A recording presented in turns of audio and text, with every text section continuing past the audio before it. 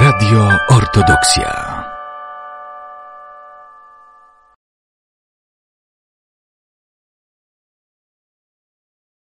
Dzień dobry Państwu, przy mikrofonie Jan Kochanowicz. Rozpoczynamy cotygodniową audycję Pytanie do specjalisty. Dzisiejszy temat choroby zakaźne. Dlatego w studiu witamy pana profesora Anatola Panasiuka, specjalistę chorób zakaźnych. Witam pana profesorza. Dzień dobry Państwu, dzień dobry panie redaktorze, panie profesorze. Pan profesor całe życie, aczkolwiek nie tylko, poświęcił chorobom zakaźnym, bo teraz to choroby internistyczne bardziej zdominowały życie zawodowe pana profesora. Kieruje oddziałem gastrologii w szpitalu wojewódzkim. I hepatologii. I hepatologii. Natomiast przez dziesiątki lat pracował w klinice chorób zakaźnych i hepatologii Uniwersyteckiego Szpitala Klinicznego w Białymstoku. Choroby zakaźne nie są mu obce. Do chorób zakaźnych przyzwyczailiśmy się. Stały się taką codziennością, nawet trochę abstrakcyjną, bo to gdzieś tam usłyszeliśmy o eboli, gdzieś tam na świecie się SARS pojawił, gdzieś tam postraszyła nas świńska grypa, ptasia grypa, choroby zakaźne z naszego tutaj kręgu kulturowego wydostały się. Nie ma. My jakoś tak przyzwyczailiśmy się. Kiedyś na, pamiętam jeszcze, że chociaż jak było wesele porządne, jak na weselu podkarmiono, to weselnicy pojawiali się w oddziale zakaźnym, ażeby spra swoje sprawy żołądkowo-jelitowe wyprostować. Teraz nawet na weselach nas dobrze karmią. Te choroby zakaźne w ostatnim półroczu znowu powróciły za sprawą koronawirusa. Czy to jakiś taki ewenement, czy my na co dzień mamy do czynienia z chorobami zakaźnymi? To pytanie kieruję do pana profesora Anatola Panasiuka.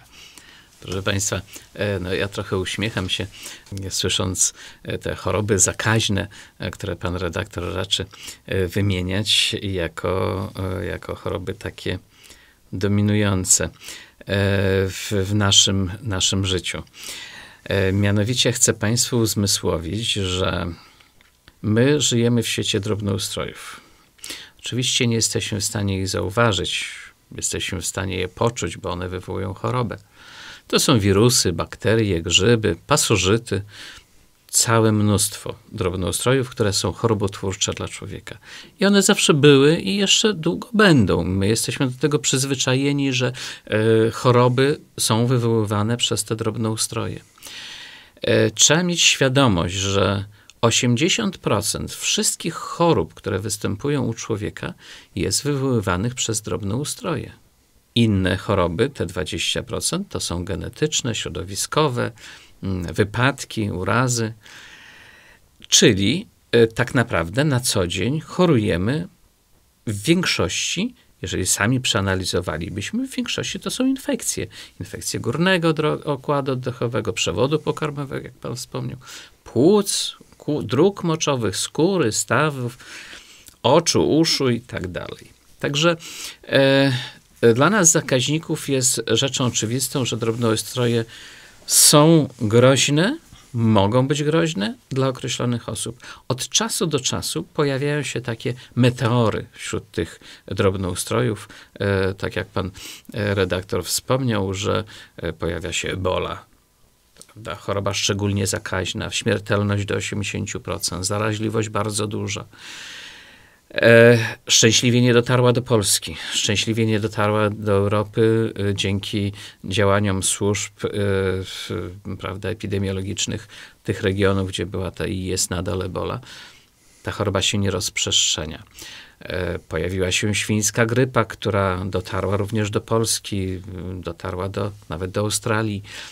Wirusy, które się rozprzestrzeniają, mogą się rozprzestrzeniać na cały świat. W związku z tym tu nie ma granic. Tu, y, trzeba też mieć wyobrażenie, no w tej chwili na pewno mniej, ale kiedy y, jeszcze przed y, epoką COVID, czyli y, na początku tego roku, w marcu, w kwietniu, y, w kwietniu nie, w, ma, w, w marcu, w lutym, równocześnie w ciągu jednej minuty przebywało kilka milionów ludzi w powietrzu, będąc w samolotach, czyli ci ludzie przewozili różne infekcje, przewożą e, z miejsca na miejsce, z kraju, z kontynentu na kontynent.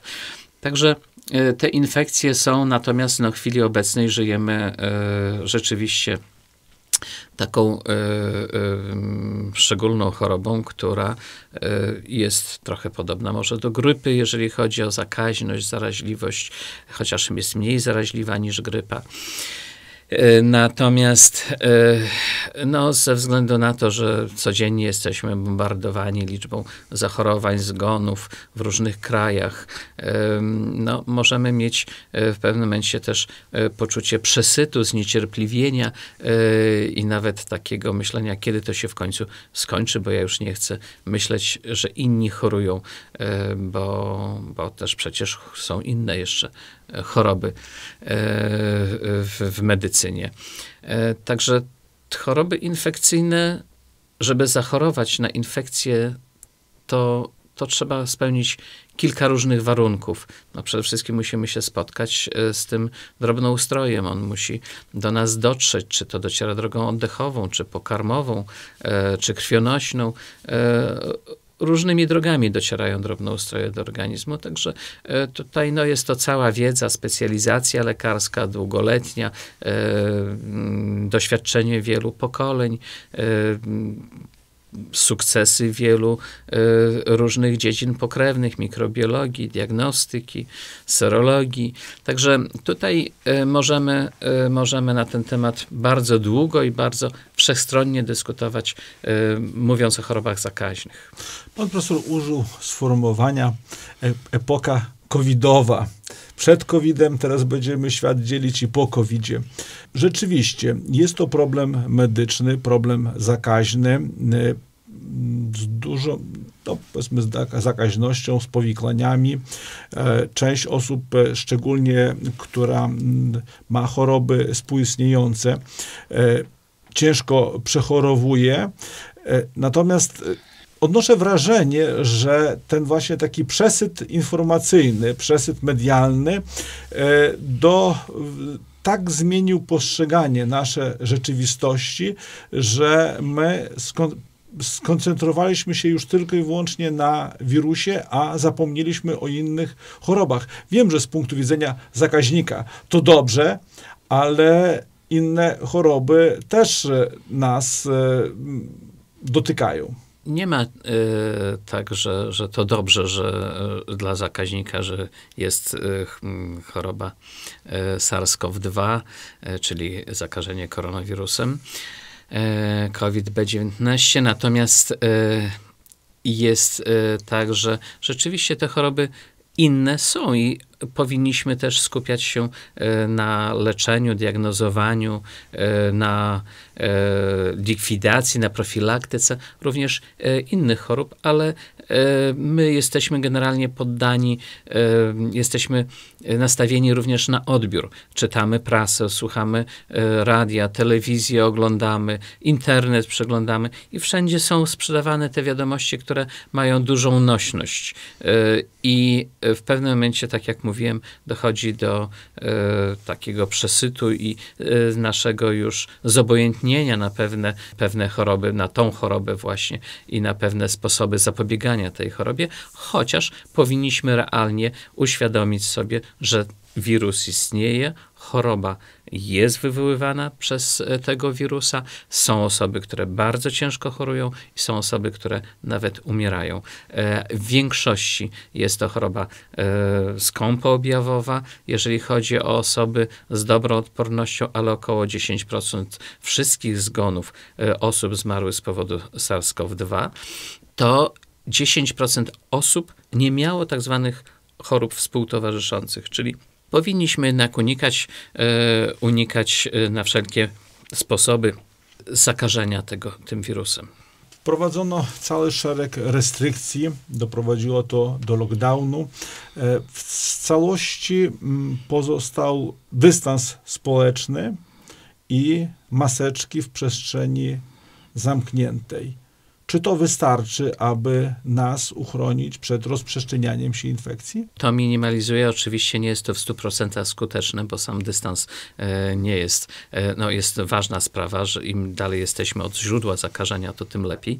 E, maseczki, e, czyli te środki ochrony osobistej, w pewnym stopniu redukują e, ryzyko zakażenia, e, natomiast na pewno nie wyeliminują zagrożenia z naszego otoczenia to, co my jako zakaźnicy, jako świat medycyny, e, czego oczekujemy, to oczekujemy powstania szczepionki, czyli e, takiego mm, sposobu e, bardzo skutecznego zapobiegania tej infekcji. No, mamy wiele już doświadczeń ze szczepionkami, już długie, duże dziesięciolecia.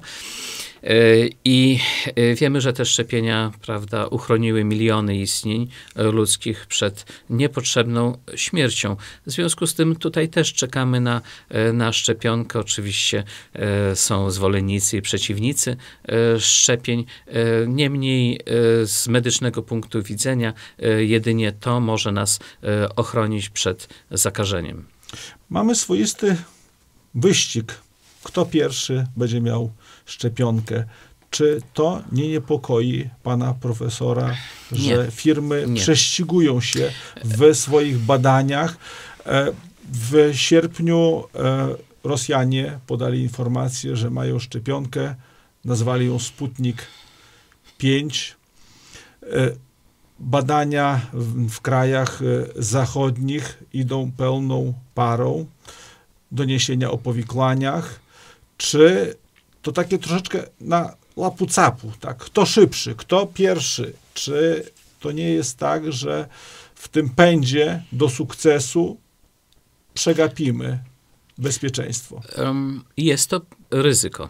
E, rzeczywiście jest duża konkurencja e, między firmami, ponieważ no, to jest biznes, że jeżeli jakaś firma wyprodukuje produkt, który jest skuteczny, to będzie miała większy sukces finansowy niż firma, która do tego sukcesu dojdzie e, wynalezienia szczepionki jakiś, nie wiem, kilka miesięcy później. Natomiast e, owszem, obawy są słuszne, że coś, co jest szybko, nagle, to, to niekoniecznie może być mm, dobre. I tutaj na pewno jakiś monitoring osób szczepionych, powikłań. E, jest to jest cały, cała procedura wprowadzania e, nowych produktów leczniczych e, na rynek. Faza badań pierwszego stopnia, drugiego stopnia, trzeciego stopnia, badania później populacyjne. Także na to potrzeba czasu. Natomiast tutaj, tak jak widać, czasu za bardzo nie mamy, e, bo dopóki nie będzie szczepionki, to ta choroba będzie. E, będziemy musieli e, nosić maski, utrzymywać ten dystans, będziemy ograniczać się przed wyjazdami, przed przemieszczaniem się. To w pewnym momencie będzie dla nas takim dużym utrudnieniem ale z drugiej strony no, mam nadzieję, że pojawią się, zostaną zarejestrowane te produkty, które e, będą miały udowodnioną e, skuteczność. A tak to się na chwilę obecną dzieje, że oczywiście w tej chwili ponad 50 firm prowadzi badania nad szczepionką, są w różnym sta stadium zaawansowania. Jak uczy nas dotychczasowe doświadczenie, w, z, z każdym problemem zdrowotnym firmy farmaceutyczne próbują e, nas wspomóc, produkując różne leki e, i e, wiele firm równocześnie na przykład prowadzi badania nad daną chorobą, żeby jak najskuteczniej ją wyleczyć, ale nie wszystkie badania kończą się sukcesem, nie wszystkie produkty, które są wytworzone przez te firmy będą zarejestrowane jak leki, jako leki. Tak samo ze szczepionką, że nie wszystkie produkty, czy te 50, czy ile badawczych w tej chwili, one będą skuteczne. Natomiast co do radzieckiej szczepionki, no to my nie mamy żadnej... Rosyjskiej. Przepraszam, rosyjskiej szczepionki. Nie mamy pełnej wiedzy na temat skuteczności i bezpieczeństwa tego szczepienia, także e, to mm, nie tylko problem e, e, państwa Rosji, ale tak naprawdę mm, dobrze byłoby, żeby to była ta, ta wiedza upowszechniona, żebyśmy mogli wszyscy wykorzystywać, cała ludzkość mogła korzystać z jakiegoś, żeby był taki wspólny bank wiedzy, informacji na ten temat, ale również taki bank jak wiedzy, jak należy wyprodukować skutecznie szczepionkę, jakie antygeny powinny być tam zawarte, e, jakie e, substancje wzmacniające e, skuteczność tej szczepionki. Także to są patenty, to są strzeżone przez firmy farmaceutyczne tajemnice, ale w tej sytuacji, kiedy mamy taką pandemię, no to powinniśmy się chyba spodziewać jakiegoś takiego porozumienia na szczeblu międzynarodowym w tej kwestii epidemia, pandemia, sformułowania. O czym? Co to jest? E, to są terminy, e, których już studentów uczymy, że epidemia to jest e, wzrost zachorowań na jakimś terenie lokalnym, a pandemia to jest zachorowania na tą samą chorobę we, na wszystkich kontynentach, na wszystkich pięciu kontynentach. I tu mamy do czynienia z chorobą, która występ, wywoływana jest przez tego samego wirusa na wszystkich, wszystkich kontynentach jednocześnie i to w medycynie, w epidemiologii oceniamy, określamy jako pandemia. Pan profesor powiedział o czynnikach, które powodują choroby zakaźne. No wirusy teraz to jest jakby numer jeden, bo wszyscy o koronawirusie. No, zbliżamy się teraz do sezonu zimowego, gdzie będzie jesienno-zimowego, gdzie będzie przewaga infekcji wirusowych. To też bakterie, grzyby, pasożyty. Kiedyś się mówiło o chorobach brudnych rąk. W tej chwili ręce dezynfekujemy aż nadmiernie. Czy to uchroni nas przed zarówno koronawirusem, jak i innymi schorzeniami zakaźnymi? Tak, y, patogeny, które są y, przenoszone y, na dłoniach, to są właśnie to jest tak zwana choroba brudnych rąk. Rzeczywiście, e, chorób brudnych rąk w chwili obecnej mamy już zdecydowanie mniej. E, w czasie e, tej ery COVID-u, gdzie nauczono, jak należy dezynfekować dłonie, że ewentualnie nakładać rękawiczki przy wybieraniu pieczywa i tak dalej, i tak dalej. Natomiast oczywiście dezynfekcja dłoni to jest ważna sprawa, ale nie uchroni nas przed patogenami, które docierają do nas z powietrza drogą oddechową. Do tego służą maseczki. Do tego służą maseczki, e, które filtrując powietrze zatrzymują e, drobiny e, kurzu, cząstki, cząstek wody, pary wodnej, na których przemieszczają się wirusy, bakterie i właśnie w ten sposób filtrowane powietrze, które jest już między maską a nosem, no już jest bezpieczniejsze niż poza maską na zewnątrz. Pan profesor już troszeczkę tak odpowiedział, a tu mam takie pytanie słuchacza. E, czy koronawirus w stosunku do innych chorób zakaźnych jest dużo bardziej niebezpieczny? Tra transmisja w porównaniu do grypy jest mniejsza. E, zdecydowanie. Najbardziej zakaźną wśród chorób zakaźnych, infekcyjnych jest odra. E, natomiast e, w mniejszym stopniu jest grypa, a jeszcze w mniejszym jest e, właśnie zakażenie koronawirusem SARS-CoV-2. I tutaj im więcej jest osób, im bliższy jest kontakt między ludźmi, im większe jest skupisko osób, to tym większe ryzyko e, za, przeniesienia zakażenia między ludźmi. Stąd też mamy zakażenia na weselach, e, na jakichś e, imprezach masowych bez zachowania dystansu. Chociaż ostatnio zauważam, będąc w różnych miejscach, że te, te zakazy coraz mniej są przestrzegane. Ostatnio byłem na spotkaniu, gdzie było około 60 osób i właściwie parę osób tylko miało maseczki. Wszyscy byli bez maseczek, chociaż mieli świadomość, że, że to może ich uchronić. Czy to nie jest tak troszeczkę, że jesteśmy jako społeczeństwo zmęczeni cały czas nas zamknięto, zabroniono w pewnym momencie nawet wychodzenia do lasu, zamknięto nas w domach, czy nie doszło do społecznego zmęczenia restrykcjami, które zostały wprowadzone? Tak, to jest tak zwane zmęczenie materiałowe.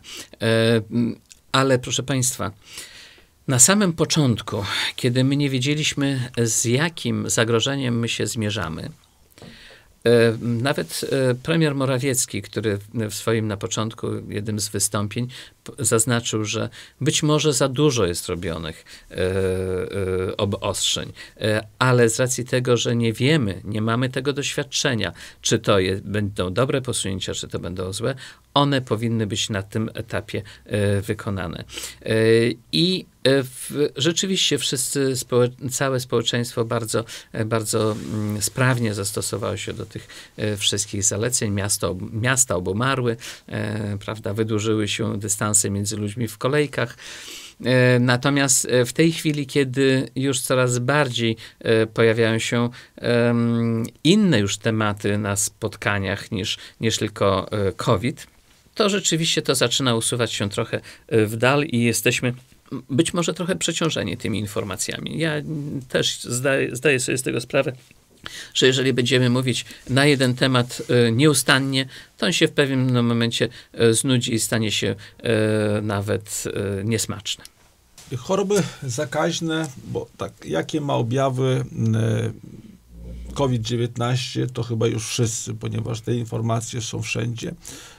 Choroby zakaźne, czy możemy jakoś ubrać w objawy co nas może spotkać, co nam mogą spowodować wirusy, bakterie, grzyby, pasożyty, czy jest to jakiś zespół objawów, czy raczej indywidualnie każdy patogen na swój sposób atakuje nasz organizm.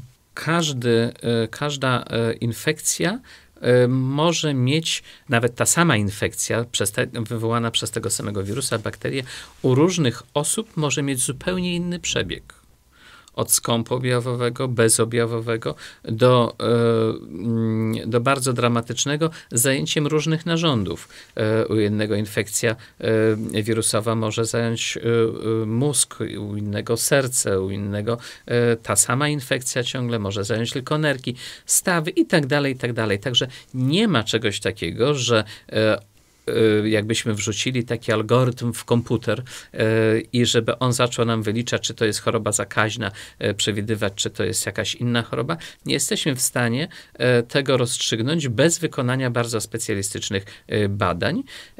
I jeżeli jest grupa infekcji oddechowych, które atakują e, górne drogi oddechowe, dolne drogi oddechowe. I tutaj nie jesteśmy w stanie na podstawie objawów e, stwierdzić, czy to zakażenie jest e, SARS-CoV-2, czy to jest zakażenie wirusem grypy, czy to jest zakażenie paragrypą, czy wirusem echo, koksakie i tak dalej, i tak dalej. Także chociaż objawy mogą być bardzo podobne. Panie profesorze, jak w takiej sytuacji y, mamy jakąś dysfunkcję, czy to górnych dróg oddechowych, czy przewodu pokarmowego, jak możemy to zdiagnozować? Jakie narzędzia diagnostyczne mają w swoim arsenale zakaźnicy? Jak badacie pacjentów?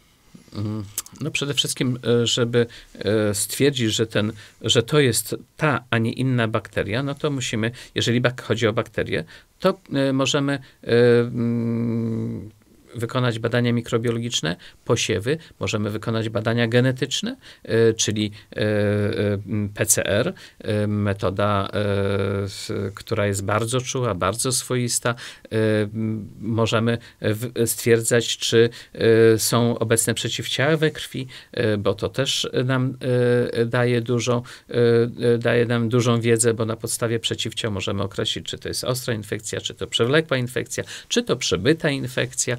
Także mamy dość pokaźny arsenał diagnostyczny w chorobach zakaźnych. Oczywiście nie jest to optimum i żebyśmy byli już całkowicie zadowoleni z diagnostyki, ale praktycznie co roku pojawiają się coraz to nowe metody, bardziej czułe, czułe bardziej swoiste. Nie jesteśmy w stanie zdiagnozować każdego zakażenia, także możemy, możemy tylko przewidywać, że na przykład to jest zakażenie z tej grupy e, wirusów, czy też e, z innej, ponieważ nawet nie ma testów na e, wszystkich dostępnych w codziennej praktyce medycznej. Czasami bywały sytuacje, że musimy wysyłać do innych krajów Europy, bądź też nawet do in, na inny kontynent, żeby zdiagnozować jakąś chorobę infekcyjną. Są niekiedy bardzo takie skomplikowane diagnostycznie zakażenia. Dlaczego badania trwają tak długo. Mamy pobrany wymaz i musimy godzinami, jeśli nie dniami, czekać na wynik. Pacjenci mm, są w kwarantannie, mają pobrany wymaz i czekają. Chcieliby mieć wynik no to tutaj wiele rzeczy się y, nakłada na siebie. Y, sam, samo badanie trwa y, do 4 godzin. Oczywiście może są test sprzęty, gdzie to trwa około godziny, ale standardowo większość badań genetycznych w większości laboratoriów to trwa około 4 godzin. Natomiast z racji obciążenia tych laboratoriów pracą, czyli kumulują się próbki, tych próbek jest bardzo wiele, przepustowość jest e, ograniczona, w związku z tym wytwarzają się e, spiętrzenia i ten czas oczekiwania może e, sięgnąć doby, bądź nawet dłużej w przypadku niektórych laboratoriów. My jesteśmy przyzwyczajeni, że tu pobraliśmy, za moment już powinniśmy wiedzieć, jaki jest wynik, ale przypomnę, że na przykład wymaz z gardła, czy z jakiejś rany, to wynik będzie po czterech trzech, czterech, a nawet i siedmiu dniach. Także to nie jest e, długi okres oczekiwania.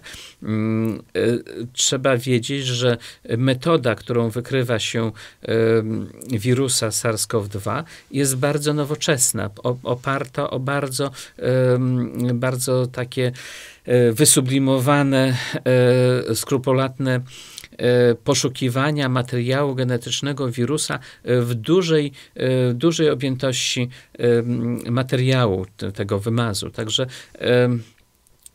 no, chcielibyśmy, żeby to trwało szybciutko, natychmiast, tak jak, prawda, jak paragon prawda, w sklepie, ale to tak nie działa. Tutaj to są skomplikowane procesy, które muszą trwać. Panie profesorze, o profilaktyce powiedzieliśmy, jak mamy się chronić leczenie, leczenie chorób zakaźnych. Jesteśmy, mamy przy bakteriach, mamy całe gamę, nie wiem ile antybiotyków. tych antybiotyków.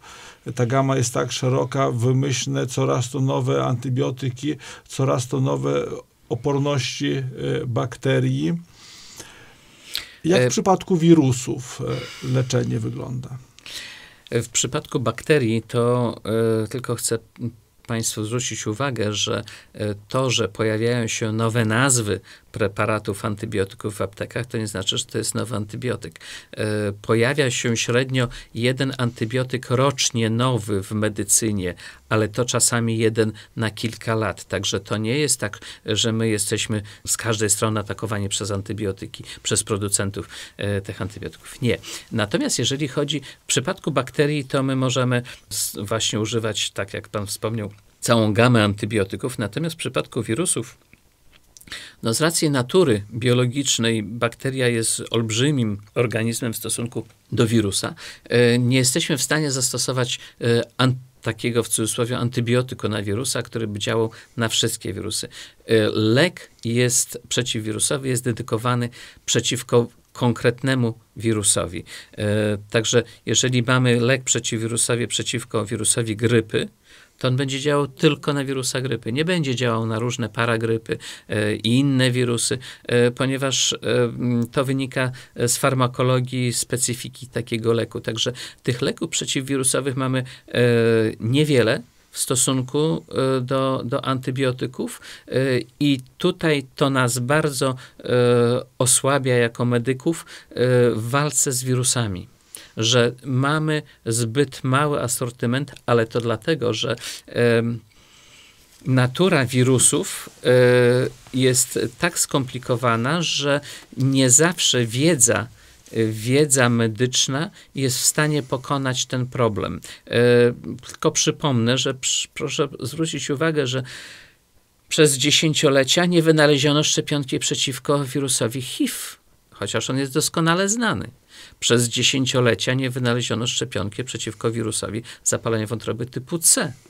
Przez y, dziesięciolecia nie znaleziono żadnej szczepionki skutecznej przeciwko malarii, a rocznie choruje około pół miliarda osób. Z tego około y, y, kilkuset tysięcy umiera rocznie z powodu malarii. Nie znaleziono szczepionki, czyli nasza wiedza medyczna, patrząc globalnie, nie daje nam jeszcze możliwości, żeby wyprodukować tą szczepionkę. Dlatego też wszyscy liczymy i ja się bardzo cieszę, że e, pojawiają się, nawet jeżeli jest to e, rosyjska, nie do końca przebadana szczepionka, ale że e, zaczyna się łamać tą barierę, że możemy tego wirusa być może w najbliższej przyszłości, bliższej bądź no, nieco dalszej przyszłości pokonać, że nie będziemy musieli zmagać się z tą epidemią tak długo, jak na przykład z wirusem HIV chociaż analogia jest niewielka, tylko y, mam na myśli y,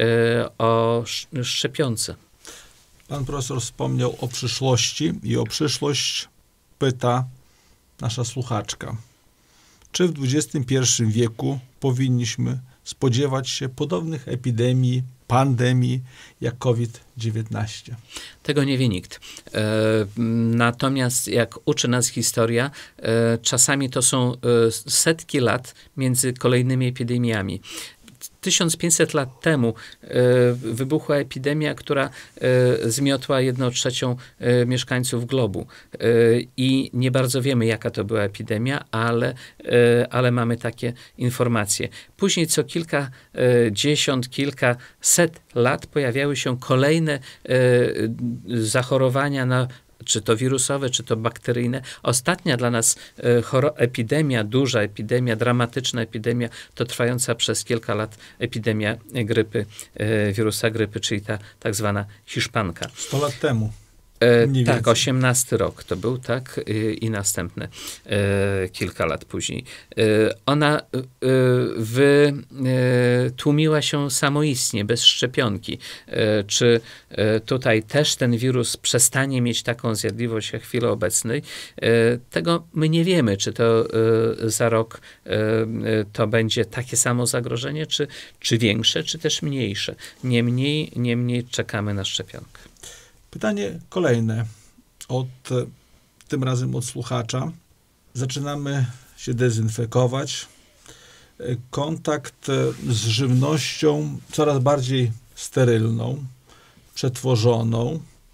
Czy to, że my w swoim codziennym życiu wszystko takie wyczyszczone, wysprzątane, kontakt z bakteriami i z czynnikami chorobotwórczymi coraz bardziej ograniczony, czy od dzieciństwa nie wpływa to naszą, na naszą odporność tak, że stajemy się immunologicznie coraz słabszym społeczeństwem. Te immunologicznie to sam dodałem.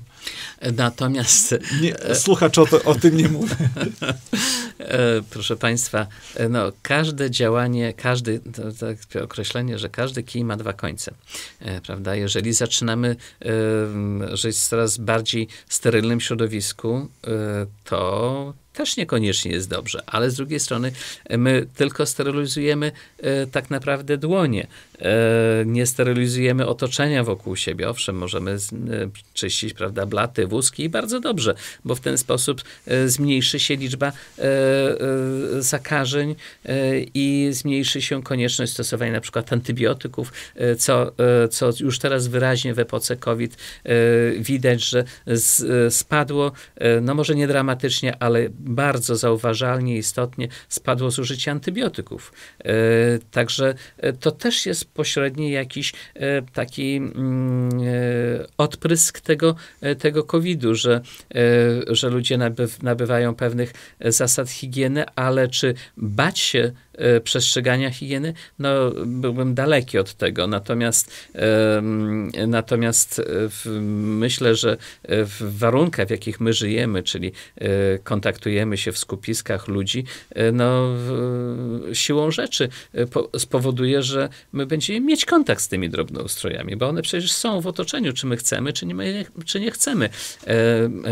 Hodując jakieś zwierzę, psa, kota, czy, czy, czy, czy jakieś inne zwierzęta w domu, to przecież też e, obcujemy z tymi e, bakteriami, które mogą być chorobotwórcze dla zwierząt, ale nie są chorobotwórcze dla człowieka.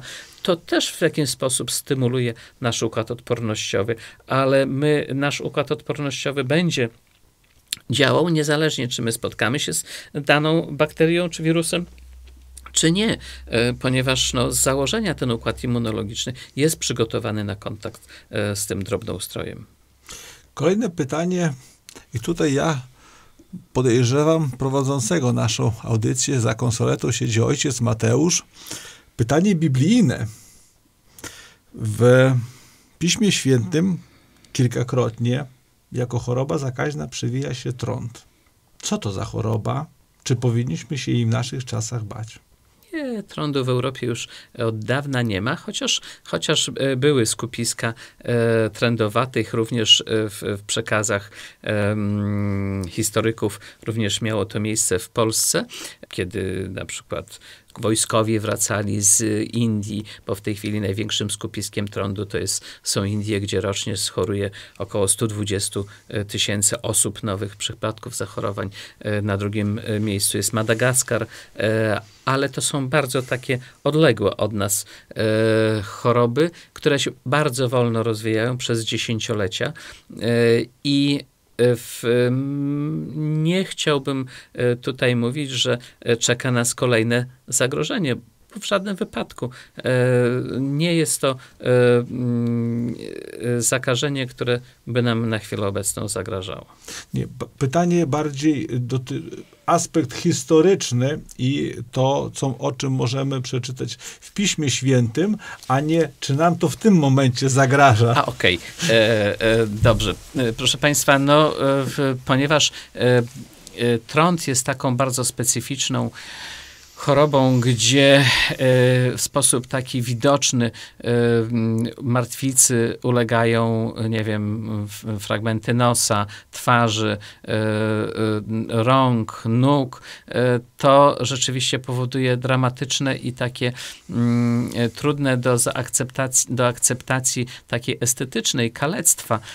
Dlatego też prawdopodobnie z, to, z tego powodu znalazło się to w, w źródłach Biblii Panie profesorze, w podsumowaniu dla naszych słuchaczy w kilku zdaniach, jak uniknąć chorób zakaźnych? Wiem, że tak jako lekarz, że ciężko jest tak to powiedzieć, jakich zasad powinniśmy przestrzegać, aby w ramach profilaktyki uniknąć chorób zakaźnych.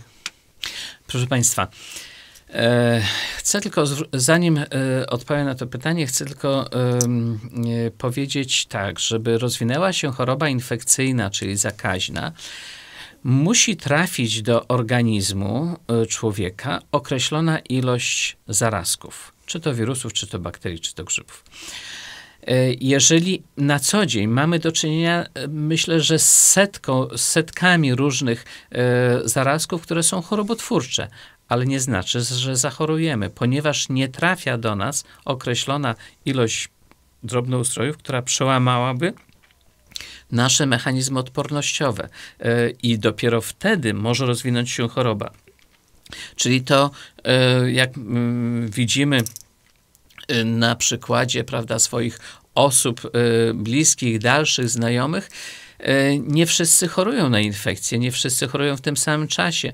E, żeby e, doszło do infekcji, no to, to, to trzeba spełnić wiele różnych warunków, czyli trzeba być w bliskim sąsiedztwie osoby chorej. Dlatego też, jeżeli ktoś ma infekcję, to należy go w jakiś sposób no, taki przyjazny, przyjacielski odizolować, odsunąć od siebie, dać mu inne pomieszczenie, ewentualnie zastosować jakieś leki, skontaktować się z kimś, kto wie, jak to zdiagnozować czy leczyć, czyli z lekarzem. Natomiast nie ma jakiejś złotej recepty, co, co trzeba zrobić, żebyśmy całkowicie uniknęli e, e, choroby infekcyjnej, bo nie ma takiej możliwości. Nie żyjemy w świecie sterylnym. Panie profesorze, czy dobrym rozwiązaniem jest e-porada, zamknięcie gabinetów lekarzy rodzinnych, kierowanie całego źródła pacjentów do szpitali z objawami w rozprzestrzenianiu się różnego rodzaju infekcji? tak jak wspomniałem, że infekcje były, są i będą. W związku z tym e, te e-porady e, są e, dobrym sposobem kontaktowania się i szybkim, prawda, uzyskaniu odpowiedzi na swoje pytania, jakieś tam problemy. Natomiast nie, nie jest to panaceum na rozwiązanie wszystkich problemów zdrowotnych pacjentów. I na pewno y, sztuka medyczna polega na tym, że y, lekarz musi widzieć pacjenta, musi go zbadać, powinien go zbadać, y, zrozumieć istotę choroby i wtedy będzie skuteczne. Natomiast w przypadku, kiedy znamy tego pacjenta i możemy, prawda, spokojnie powiedzieć, dobra, to w takim układzie modyfikujemy to leczenie, które było już ustalone, już żeśmy sprawdzili, zwiększamy czy też zmniejszamy leki, e-porada jest rzeczywiście takim e, dobrym rozwiązaniem, że nie będziemy musieli iść do tej przychodni, która, jak pamiętamy, zwykle jesienią e, była bardzo zatłoczona. E, wszyscy kichali, kaszlali e, i znaleźć się w takim środowisku jest to e, rzeczywiście niebezpieczne dla wszystkich.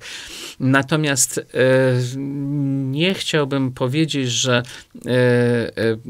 moi koledzy z Którzy zamknęli poradnie i zaczęli tylko e, praktykować e-wizyty, to jest złe rozwiązanie. E, na pewno e, jest tak, że w każdej poradni przychodzą, do każdej poradni przychodzą pacjenci, jeżeli jest taka potrzeba. Czasami pacjent może być zdenerwowany, że ma rwę kulszową, no i cóż, e-porada może mu wnieść dobrego, kiedy, kiedy prawda, no, wiadomo, że trzeba zbadać.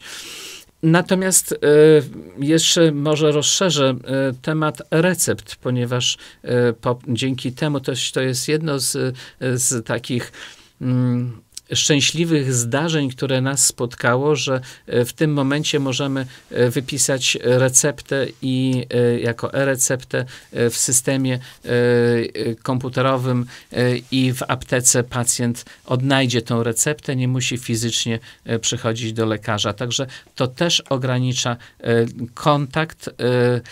A z drugiej strony też trzeba wiedzieć, że takim skupiskiem i większym ryzykiem zachorowania na infekcję e, to, jest, to są skupiska ludzkie. Jeżeli będziemy unikać tych skupisk, będziemy unikać tworzenia takich skupisk, e, to wtedy e, zmniejszy się ryzyko zachorowania na tą infekcję, czyli ten dystans społeczny. Oczywiście moglibyśmy sobie teraz wyobrazić, że taki lekarz rodzinny ma olbrzymią, nie wiem, 100 metrów poczekalnię i każde co drugie miejsce może być zajęte przez pacjenta, ale oczywiście jest to e, fizycznie niemożliwe, bo wiemy, jak, w jakich e, realiach są gabinety, które były budowane na potrzeby epoki, jeszcze pocz, na, na potrzeby prawda, obsługi tych pacjentów przed epoką COVID. Teraz, teraz staje się to dość trudne, ale z drugiej strony też rozumiem lekarzy rodzinnych, którzy jako pierwsza linia kontaktu z osobą chorą, zakażoną prawda, różnym, różnymi wirusami, bakteriami, może mieć obawy, czy aby ten pacjent e, nie jest zakażony wirusem e, SARS-CoV-2, ponieważ to może przenieść się na jego pacjentów w poczekalni, nawet może przenieść się na personel. No, ilość lekarzy jest generalnie no, są niedobory, prawda, personelu medycznego i zawsze boimy się, że jeżeli mm, jakaś poradnia, jak, jakaś poradnia lekarza medycyny rodzinnej pójdzie na kwarantannę, to kto później zajmie się opieką pozostałych tych pacjentów, którzy będą wymagali. Także tutaj no, na pewno y, trzeba rozważyć między wstrzemięźliwością w przyjmowaniu pacjentów, a otwartością na, na wszelkie potrzeby tych pacjentów, czyli nie ma jakiegoś takiego złotego środka. Tutaj każdy przypadek powinien, każda sytuacja powinna być indywidualnie potraktowana. Pozwolę sobie na polemikę z panem profesorem, ponieważ nie zgadzam się z sytuacją, że zamknięcie gabinetów lekarza rodzinnego jest do, dobrym, ponieważ ci pacjenci trafią na szpitalne oddziały ratunkowe, trafią do nocnej świątecznej opieki medycznej.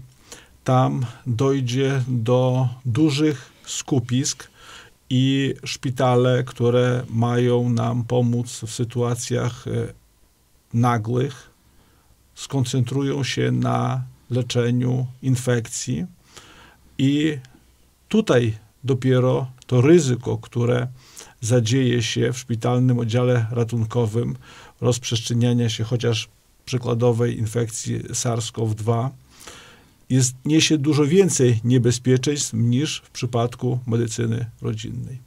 E, a ja to widzę, e, słyszę w, w głosie pana e, redaktora, strapionego dyrektora olbrzymiego szpitala w Białymstoku, który na co dzień cierpi z powodu właśnie tego, że pojawiają się pacjenci, którzy nie są załatwiani na poziomie lekarza rodzinnego, tylko od razu bezpośrednio są kierowani w ramach E porady, e, kierowanie przez lekarza do e, szpitala i szpital niech sobie, e, prawda, radzi.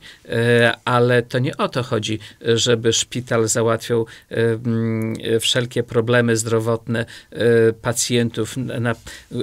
Z tymi problemami równie dobrze mógłby poradzić sobie lekarz rodzinny. Nie musi to być wcale jednostka szpitalna. Także tak, to są konsekwencje tego, że szpitale w tej chwili, sorry, e, w szpitalach są przepełnione, e, bardzo obciążone e, z powodu zamknięcia się gabinetów lekarza rodzinnego. Tak, to, to, ja, to ja nie powiedziałem, że zamknięcie jest rzeczą dobrą, tylko powiedziałem, że mm, w, w tym momencie należy rozważyć między koniecznością wizyty w poradni, a zaniechaniem takiej wizyty w poradni, bo e, nawet jeżeli e, starszej pani jesteśmy w stanie zmodyfikować leczenie nadciśnienia, a wiemy, e, jakie to ciśnienie bywa, bo starsze osoby z nadciśnieniem bardzo skrupulatnie sobie rejestrują, e, e, piszą to, to wartości ciśnienia i na tej podstawie w, w czasie wizyty możemy równie dobrze podjąć decyzję bardzo trafną.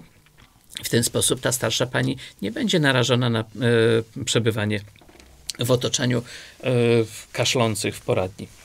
Tak, oto od chorób zakaźnych przeszliśmy do organizacji służby zdrowia w naszym kraju. Myślę, że tematu chorób zakaźnych byśmy jeszcze przez następną godzinę nie wyczerpali, ale czas skończyć audycję. Ja w imieniu swoim, w imieniu ojca Mateusza i naszych słuchaczy. Dziękuję panu profesorowi za bardzo ciekawe omówienie e, zagadnienia. Kolejne zaproszenia do Radio Ortodoksja będą. Dziękuję panie profesorze. Dziękuję panie redaktorze za zaproszenie. Dziękuję państwu za e, uczestniczenie w tym programie. A ja państwu dziękuję za wspólnie spędzony czas. Do usłyszenia w czasie następnej audycji. Do widzenia.